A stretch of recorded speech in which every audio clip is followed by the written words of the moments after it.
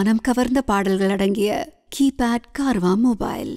Hi எல்லாருக்கும் வணக்கம். World cup முடிஞ்ச உடனே இந்தியாவே ரொம்ப சோகமாக தூங்கி அடுத்த நாள் காலை எழுந்திருக்கும் போது ஒரு ஷாக்கிங்கான ஃபோட்டோ வந்து சோஷியல் மீடியாவில் பயங்கரமாக பரவிட்டு இருக்குங்க அது என்ன ஃபோட்டோன்னு பார்த்தீங்கன்னா இதுதான்.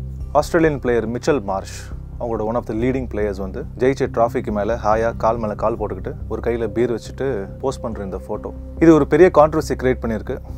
பெரிய டிபேட் கிரியேட் பண்ணியிருக்கு. இந்த சமயத்தில் Australians over the period of years இந்தியாவுக்கும் இந்தியன் கிரிக்கெட்டுக்கும் இந்தியன் லீடர்ஸ்க்கும் எந்த அளவுக்கு மரியாதை கொடுத்துருக்காங்க?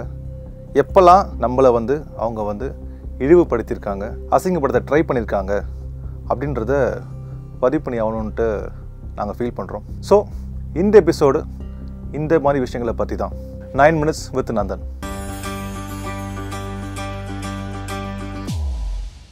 world cup முடிஞ்சது. ஆஸ்திரேலியா ரொம்ப நல்லா விளையாடினாங்க. ஜெயிச்சாங்க. செலிப்ரேட் பண்ணாங்க. அஃப்கோர்ஸ் அவங்க தேர் நோன் ஃபார் பயங்கரமான celebrations full night celebrations they're entitled to celebrate and enjoy but அந்த ஜெயிச்ச ட்ராஃபிக் மேலே கால் மேலே காலை போட்டுக்கிட்டு கையில் ஒரு பீர் வச்சுட்டு ஒருத்தர் போஸ்ட் பண்ணி அதை வந்து இன்டென்ஷனலாக அது ஷேர் படப்படுதுன்னு தான் என்னோட கருத்து. எனக்கு தெரிஞ்சு இது வந்து அது நாங்கள் செலிப்ரேட் பண்ணோம் பாருங்கள் அப்படின்ற ஒரு ஸ்டேட்மெண்ட்டாக மட்டும் இல்லாமல் இந்த கப்பு நாங்கள் அவ்வளோதான் மரியாதை கொடுக்குறோம். இதுக்கு வந்து ஆஸ் அ கண்ட்ரியாக நீங்கள் இவ்வளோ ஹைப் கொடுத்தீங்களே பாருங்கள் அவ்வளோதான் அப்படின்ற ஒரு ஸ்டேட்மெண்ட்டாக மிச்சல் மார்ஷும் கிரிக்கெட் ஆஸ்திரேலியாவும் வந்து ஸ்ட்ராங்காக சொல்ல வராங்கன்றது தான் இப்போ சோஷியல் மீடியாவில் பேசப்படுற ஒரு முக்கியமான விஷயமா இருக்குது அண்ட் இது வந்து ஃபஸ்ட்டு விஷயம் கிடையாது. இதுக்கு முன்னாடி ஆஸ்திரேலியன் கிரிக்கெட் பிளேயர்ஸ் வந்து நம்மளை ட்ரீட் பண்ண விதம் பார்த்திங்கன்னா இட் இஸ் நாட் நைஸ் நிறைய இடங்களில் they try to put down the Indian cricketers and நிறைய இடங்களில் நம்ம நம்மளோட பாலிட்டிஷியன்ஸ் நம்மளோட லீடர்ஸை அவங்க அசிங்கப்படுத்த ட்ரை பண்ணது நிறைய சம்பவங்கள் இருக்குது அதில் முக்கியமாக பார்த்தீங்கன்னா டூ தௌசண்ட் சிக்ஸில் வந்து சாம்பியன்ஸ் ட்ராஃபி ஆஸ்திரேலியா ஆடுறாங்க. இந்தியாவில் நடக்குது. ஆஸ்திரேலியா ஜெயிக்கிறாங்க அந்த டோர்னமெண்ட்டை ஜெயித்த உடனே அந்த ட்ராஃபி கொடுக்க வர்றது யாருன்னு பார்த்தீங்கன்னா அப்போ பிசிசிஐ ஹெட்டாக இருந்த வந்து மிஸ்டர் சரத் பவார் ஒரு ரினவுண்டு வெரி சீனியர் பாலிட்டிஷியன் அவர் இந்த கப்பை கொடுக்கறதுக்கு ஸ்டேஜ் மேலே ஏறுறாரு. கப்பை கொடுக்கறதுக்கு ஒரு ஃபியூ செகண்ட்ஸ் டிலே ஆகுது. அவ்வளோதான் உடனே அந்த அப்போ இருந்த ரிக்கி பாண்டிங் ஆஸ்திரேலியா கேப்டன் வந்து அவரை கூப்பிட்டு கப்பை கொடு அப்படின்ற மாதிரி ஒரு பாடி லாங்குவேஜ் பண்ணுவார். அது வந்து ஒரு ஏற்றுக்க முடியாத ஒரு பாடி லாங்குவேஜ் அண்ட் அது அங்கே மட்டும் நிற்கல அவர் இப்படி சொன்னோடனே அவர் நம்ம சரத் பவர் வந்து கப்பை கொடுப்பாரு. கொடுத்த உடனே டேமின் மார்ட்டின் ஒரு பிளேயர் வந்து சரத் பவார் ஷோல்டரில் கை வச்சு தள்ளுவார். இப்படி ஓரமாக போங்க. நடுவில் நிற்காதீங்க அப்படின்ற மாதிரி தெனாவட்டா நக்கலா ரூடாக அப்படி பண்ணுவார். அவரும் பாவம். சரத் பவர் அப்படியே ஓரம் போயிடுவார்.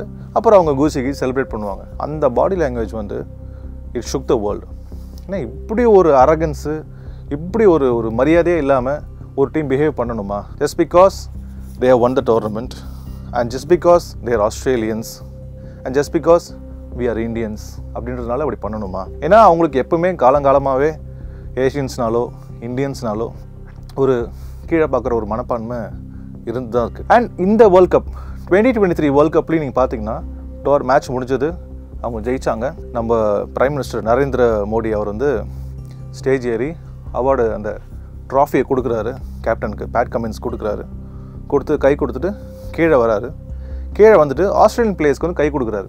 கை கொடுத்து கங்க்ராச்சுலேட் பண்ணுறாரு பண்ணும்போது நான் ஒரு விஷயம் நோட்டீஸ் பண்ணேன். ரெண்டு பிளேயர்ஸு மார்னஸ் லபுஷேன் ஒரு பிளேயரு அகைன் மிச்சல் மார்ஷ். அவங்க ரெண்டு மற்றவங்களாம் கரெக்டாக கை கொடுத்துட்டு அப்படியே போயிட்டுருக்காங்க. இவங்க ரெண்டு பேர் நம்ம ப்ரைம் மினிஸ்டருக்கு கை கொடுத்துட்டு அவர் தோலில் வந்து அப்படியே தட்டி கொடுத்துட்டு ஒரு ஒரு மாதிரி ஒரு பிஹேவியர் ஒன்று கொடுக்குறாங்க. ஒரு ப்ரைம் மினிஸ்டர்னு இருக்கும்போது எந்த கண்ட்ரி ப்ரைம் மினிஸ்டராக இருந்தாலும் ஒரு பேசிக் மரியாதை கொடுத்தாகணும். அது எந்த கண்ட்ரி நம்ம சேர்ந்தாலும். ஆனால் இவங்க வந்து என்னமோ அவங்களோட காலேஜ் ஃப்ரெண்டு மாதிரி அவங்க ஸ்கூல் ஃப்ரெண்டு மாதிரி கை கொடுத்துட்டு அப்படி தட்டி விட்றாங்க. நம்ம ப்ரைம் மினிஸ்டர் தோலில் கை வச்சு. இந்த பிஹேவியர் எனக்கு ஷாக்கிங்காகப்பட்டது ஏன்னா இது வந்து ஒரு அவங்க தெரியாமல் பண்ண விஷயமா நான் பார்க்கலங்க.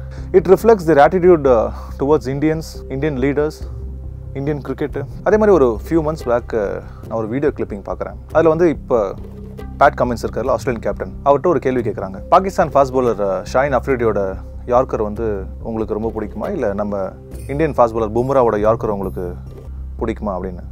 அவர் டக்குன்னு பதில் சொல்கிறாரு அஃப்ரிடியோட யார்க்கர் தான் எனக்கு பிடிக்கும்.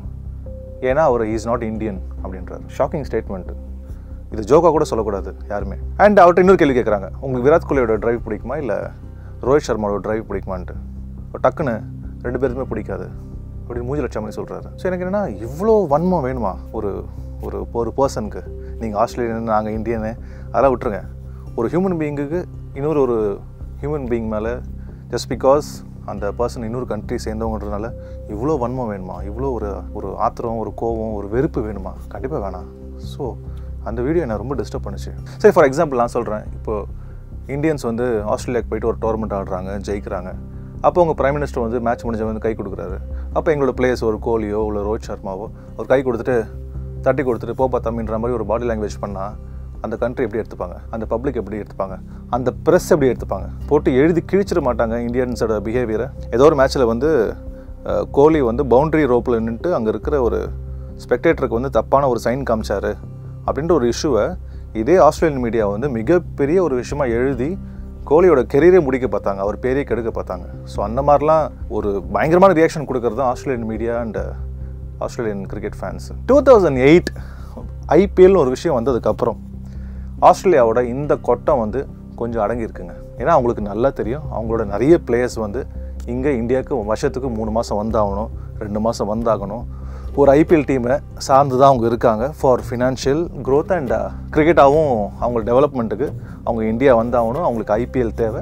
ஐபிஎல் டீம்ஸ் தேவை அப்படின்றது அவங்களுக்கு வந்து ஒரு ஒரு ஹார்ட் ட்ரூத் ஒரு பிட்டர் ட்ரூத்தாக இருக்குது அதனாலேயே அவங்களுக்கு வந்து ஒரு ஐபிஎல் மேலே இந்தியன் கிரிக்கெட் மேலே ஒரு பொறாமை ஒரு கோபம் ஒரு ஆத்திரம் இருந்துட்டு தாங்க இருக்குது அதை அவங்க வந்து இந்த மாதிரி இன்சூரன்ஸ் எப்பப்போ அமையுதோ அவங்களோட எல்லாத்தையும் அந்த மாதிரி இன்சூரன்ஸில் அவங்க கொட்டி தீர்த்துடுறாங்க. ஏன்னா அவங்க ஓப்பனாக பண்ண முடியாது. ஏன்னா ஓப்பனாக பண்ணால் அடுத்த வருஷம் ஐபிஎல் கான்ட்ராக்ட் கிடைக்காம போகலாம். இந்தியன் ப்ரீமியர் லீக்கில் வர காசும் வேணும். அது மூலிமா கிரிக்கெட் க்ரோத்தும் வேணும். ஆனால் சான்ஸ் கிடைக்கும் போதெல்லாம் நான் இந்த டீமையும் அந்த டீமோட பிளேயர்ஸோ அந்த கண்ட்ரியோட லீடர்ஸையும் நான் அசிங்கப்படுத்துவேன். மொக்க பண்ண ட்ரை பண்ணுவேன் அப்படின்ற ஆட்டிடியூடு அவங்களுக்கு எப்பவுமே இருந்திருக்குங்க. இந்த மாதிரி ஒரு ரூட் பிஹேவியர் ஒரு தேவை ஒரு அன்னெசரி பிஹேவியர் வந்து எல்லாருமே பண்ணுறாங்கன்னு நாங்கள் சொல்ல பட் ஒரு good population of solid population of Australians இதில் ஈடுபடுறாங்க. இந்த மாதிரி தான் நடந்துக்கிறாங்க அப்படின்றது தான் ஒரு ஹார்ஷ் ரியாலிட்டி இப்போ நீங்கள் வந்து ஒரு ஒரு வேர்ல்டு ஈவெண்ட்டுக்கு வந்து உங்கள் கண்ட்ரி ரெப்ரசன்ட் பண்ணி வரீங்கன்னா உங்களோட ஒவ்வொரு ஆக்ஷனுமே உங்கள் கண்ட்ரியை பாதிக்கும். நீங்கள் ஒழுங்காக நடந்துக்கிட்டால் உங்கள் கண்ட்ரிக்கு நல்ல பேர் வாங்கி கொடுக்கும். இந்த மாதிரி தேவையில்லாமல் ஒரு பிஹேவியர் ஒரு திமிரு ஒரு பொறாமை ஒரு கோபம் ஒரு வன்மம் இதெல்லாம் காமிக்கிறீங்கன்னா அதையும் அது உங்கள் கண்ட்ரி தான் பாதிக்கும். ஓ இந்த ஊர் எல்லாருமே அப்படி தான் போல இருக்குது அப்படின்ற ஒரு ஒரு ஒரு இமேஜ் ஒன்று க்ரியேட் ஆகிட்டு அந்த தப்பே பண்ணாத மக்களையும் உங்கள் பிஹேவியர் பாதிக்க போகுதுன்றத இந்த மாதிரி பிளேஸ்லாம் தயவு செஞ்சு மண்டியில் ஏற்றிக்கணும் இந்த வேர்ல்ட் கப் மேலே காலை வச்ச அந்த ஃபோட்டோவை பற்றி ஆஸ்திரேலியன்ஸ் வந்து பேசலாம். அது எங்கள் வேர்ல்ட் கப் தானே? அது எங்கள் கால் தானே? நாங்கள் எங்கே வேணால் வைப்போம் அப்படின்ட்டு கூட சொல்லலாம் சில பேர். ஆனால் அந்த வேர்ல்ட் கப்பை கையில் தொட மாட்டோமா? தூக்க மாட்டோமா? அதை ஜெயிக்க மாட்டோமான்ட்டு எவ்வளோ ஆயிரக்கணக்கான பிளேயர்ஸ் இவ்வளோ வருஷமாக தவம் இருந்திருக்காங்க. வாழ்க்கை ஃபுல்லாக கஷ்டப்பட்டு அதை கடைசி வரைக்கும் தொட முடியாமல் தூக்க முடியாமல் ரிட்டையர் ஆயிருக்காங்க. ஏன்? ஃபார் எக்ஸாம்பிள் நம்ம ராகுல் டிராவிட் இவ்வளோ பெரிய player iconic player one of the great ambassadors of the game our world cup ஜெயிச்சதே கிடையாது அவர் வேர்ல்ட் கப் தூக்குனதே கிடையாது. பிராயன் லாரா டெண்டுல்கர் மாதிரி அவர் ஒரு மலை. அவர் வேர்ல்ட் கப் தொட்டதே கிடையாது. வேர்ல்ட் கப் ஜெயிச்சதே கிடையாது. இன்னும் இந்த மாதிரி நிறைய பேர் இருக்காங்க. ஸோ அந்த வேர்ல்ட் கப்புக்கு அவ்வளோ மரியாதை இருக்குது அந்த வேர்ல்ட் கப் மேலே தெனாவட்டாக நம்மளுடைய காலை வச்சுட்ருக்கோன்னா நம்ம அசிங்கப்படுத்துறது அந்த வேர்ல்ட் கப் இல்லை. நம்ம கண்ட்ரியை நான் இன்னொரு எக்ஸாம்பிள் சொல்லணும்னு எனக்கு ஆசையாக இருக்குது இப்போ என் வீட்டில் செருப்பு போட்டு நடக்கிற பழக்கம் எனக்கு இருக்கலாம். அதுக்கு நான் போகிற வீட்டு எல்லாத்துலேயும் செருப்பு போட்டு நடப்பேன் அப்படின்னு அடம் பிடிச்சிட்டு இருக்க முடியாது. அது தப்பு. என் பழக்கத்தை என் வீட்டோட வச்சுக்கணும். அந்த மாதிரி தான் இந்த ட்ராஃபி மேலே காலை வைக்கிறது தெனாவட்டா போஸ்ட் கொடுக்கறது உங்களுக்கு சாதனமாக இருக்கலாம். ஆனால் எங்களுக்கு அந்த ட்ராஃபின்றது ரொம்ப சேக்ரடான ஒரு விஷயம். இங்கே நூற்றி நாற்பது கோடி மக்களுக்கும் இங்கே இருக்கிற youngsters cricket fans cricket players budding players எல்லாருக்குமே இந்த ட்ராஃபி எப்போ நம்ம கண்ட்ரிக்கு வரும்? இந்த ட்ராஃபி நம்மளுக்கு யார் ஜெயிச்சு கொடுக்க போகிறா அடுத்தது தோனிக்கு அப்புறம் எந்த கேப்டன் நம்மளுக்கு இது கொண்டு வர போகிறாரு நம்ம எப்போ அதை தொட்டு பார்க்க போகிறோம் நம்ம கேப்டன்ஸு அது எப்போ தூக்க போகிறோம் அது கண்ட்ரியாகவே எப்போ அதை வந்து செலிப்ரேட் பண்ண போகிறோன்ட்டு ஒவ்வொரு வருஷமும் இது காத்துட்ருக்கோம் நாங்கள் அப்படியே அப்பட்ட ட்ராஃபி நீங்கள் இப்படி தான் treat பண்ணுவீங்கன்னா it doesn't say lot of good things about you உடனே தாங்க நான் சொல்லணும்னு ஆசைப்பட்றேன். பிளேயராக நீங்கள் ஜெயிச்சிட்டீங்க. மனுஷனை தோத்துறாதீங்க. Thank you so that's it for today அடுத்து வேறு ஒரு டாப்பிக்கில் உங்கள் எல்லாரையும் நான் சந்திக்கிறேன். Nine minutes with Nandan